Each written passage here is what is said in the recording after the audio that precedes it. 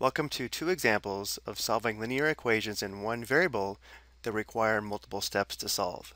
Our first step is to simplify the left side and the right side of the equation as much as possible. So looking at our first equation, we want to begin to simplify the left side by eliminating the parentheses or distributing negative 7. So we'd have negative 7 times x or negative 7x and then negative 7 times positive 10 is negative 70 or minus 70 and we have plus 196 notice on the right side we can go ahead and find this sum. 24 plus 32 is equal to 56 looking back at the left side we also have two constants. Negative 70 plus 196 is equal to positive 126 so this simplifies to negative 7x plus 126 equals 56. And now we have a basic two-step equation. So for the next step, we want to isolate the variable term. So to undo this plus 126, we'll now subtract 126 on both sides of the equation. So this simplifies to 0, so we have negative 7x on the left, and on the right, 56 minus 126 is equal to negative 70. And after the last step, we have negative 7x, but our goal is to have just x.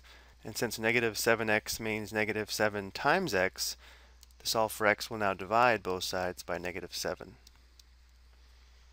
So the left side simplifies nicely to 1x, or just x. On the right side, we have negative 70 divided by negative 7, which is positive 10. So our solution is x equals 10. Let's take a look at our second example. Again, the first step is to simplify the left side and right side as much as possible, which once again means we want to start by eliminating the parentheses, or in this case, distributing positive 8. So we'll have 8 times x, which is 8x, 8 times negative 2 is negative 16, so we have minus 16 and then minus 7 equals 25x minus 193. Looking back on the left side, we have two constants here which we can combine. Negative 16 minus 7 is negative 23. So here we have 8x minus 23 equals 25x minus 193. Notice in this equation, the variable term is on both sides. So in order to solve for x, we need x on one side. So we can either subtract 25x on both sides or subtract 8x on both sides. And since most of us prefer to have the variable terms on the left side, let's go ahead and subtract 25x on both sides.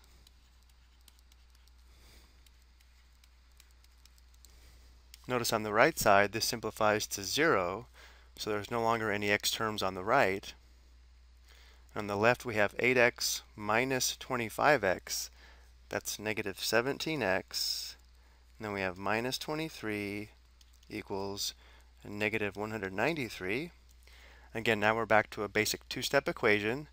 So we'll isolate the variable term by undoing the subtraction, which means we add 23 to both sides of the equation. So this would be 0. So now we have negative 17x equals negative 193 plus 23 is equal to negative 170. And since negative 17x means negative 17 times x, our last step here is to undo this multiplication by dividing both sides by negative 17. Now we simplify. This simplifies to x, or 1x. And on the right side, negative 170 divided by negative 17 is positive 10.